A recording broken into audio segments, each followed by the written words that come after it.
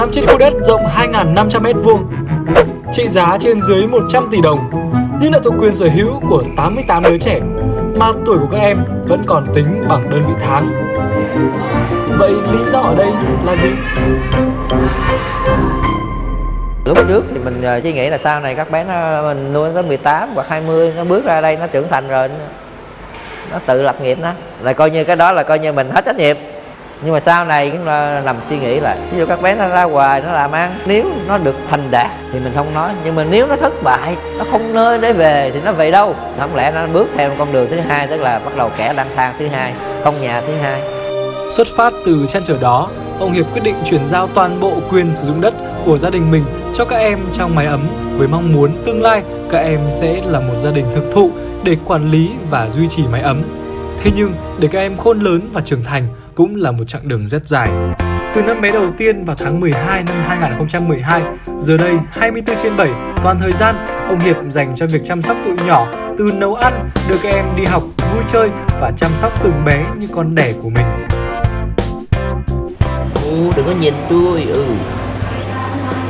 ghê chưa ghê chưa liếc tôi nữa ô tạ ô tạ à ừ hết rồi tôi chỉ ước mơ nó sống một cuộc sống bình thường với trái tim lúc nào cũng rộng mở cái điều quan trọng tôi là dạy cho các bé là trái tim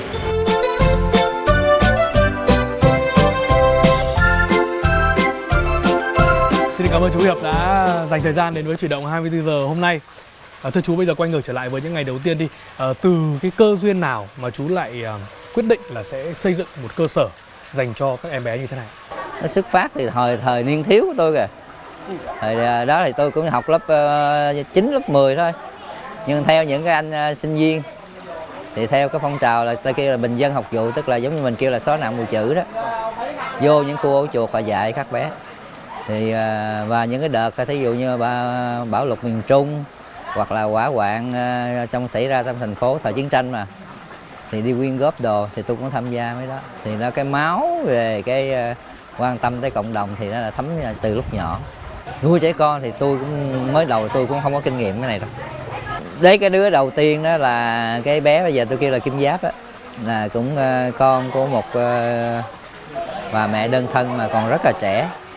Thì uh, khi về mới nói ý định bà xã nói thôi không có được ông báo người ta gửi đâu gửi đâu ông đừng có nhận trẻ sơ sinh rồi nó gian nan lắm, hai đứa con đó, ông chưa ập ờ, bồng bế ngày nào, chưa thay tả ngày nào, chưa cho bú ngày nào mà giờ ông dám liều ông nhận một đứa như vậy.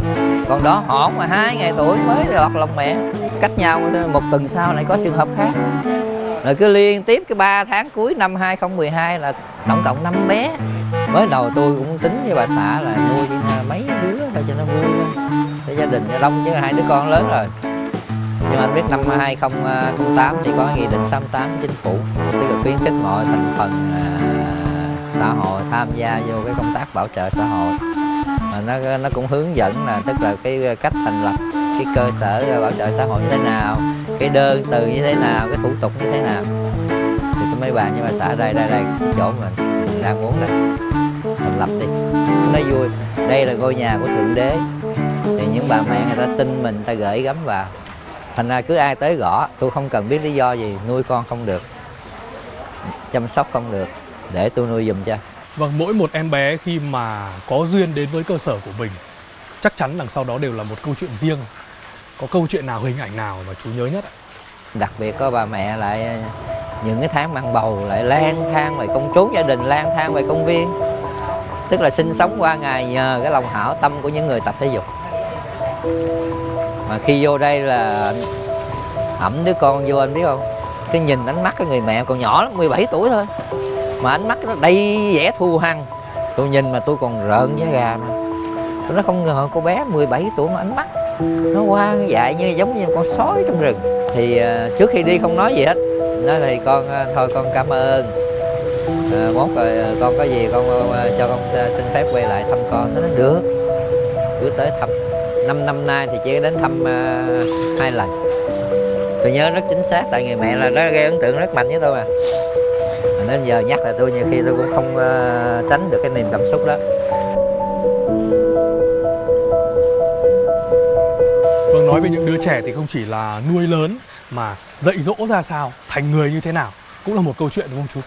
bất cứ cái gì mà trong tài liệu hay trên internet nào liên quan tới vấn đề chăm sóc trẻ sơ sinh à, chăm sóc dinh dưỡng cho em là tôi đều lao vào tôi nghiên cứu và tôi học. Tôi học một cách say mê say mê còn hơn là mình giống như là mình nói chuyện với người yêu vậy đó. Người kêu là vừa về thể chất và tinh thần. Quan trọng là cái tinh thần của các bé. Đừng bao giờ đánh mất tuổi thơ nó.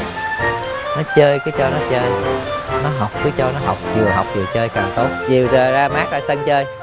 Các bé chơi cát chơi đất chơi đá. Cho chơi đừng cấm đừng hô. Mất vệ sinh là không được. Tại thời trẻ mình cũng đã cũng chơi bùn chơi ấy. Thì cái phương pháp à, tôi cũng đang à, xúc tiến tức là tương lai sẽ áp dụng toàn bộ các bé ở đây. Thì qua phương pháp học Montessori.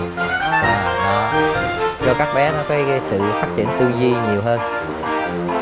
Tức là khi nó nhìn cái vấn đề nó giải quyết được cái vấn đề theo cái từng tư duy của mỗi bé chứ không phải theo cái ý kiến của cô giáo Vâng chú Hiệp ơi, bây giờ có lẽ là chú có thể đưa mọi người đi tham quan một vòng cơ sở của mình được không ạ? rồi dạ ok thôi mời mời đến tham quan à. mặc dầu là à, giờ trưa nhưng mà có thể là các bé học sơ sinh là giờ là hết đó. đây là cái hồ bơi à, lớn thiết kế để cho các bé lớn tập bơi và có thể là tương lai nó à, để nó thi đấu trong nội bộ với nhau à, còn cái dãy dưới kia là nhà ăn của các bé. Còn cái khu nhà bếp là bên đây. Thì à, hai cái khu này tương lai nó sẽ cải tạo à, dời qua tòa nhà mới. Ờ ta ta ta ta ta đứa nào chạy nó nó dở quá ta. Đây phương tức là nhà cái mùi thơm. Tức là bé là nhà cái vào mùa hè. Thì mỗi bé nó sẽ sau này nó sẽ hỏi mình tại sao bố đặt con tên đó mình sẽ giảng cái nghĩa cái tên đó là gì? Thứ hai là ví dụ con vào mùa xuân nó tên là đào hoặc là mai.